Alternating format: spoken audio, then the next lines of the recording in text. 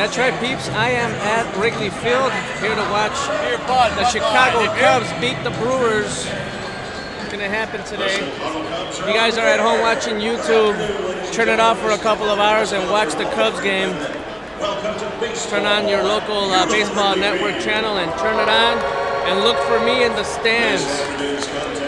If you guys happen to see me and uh, can point out what I'm wearing, leave me a message and I'll send you guys a mix.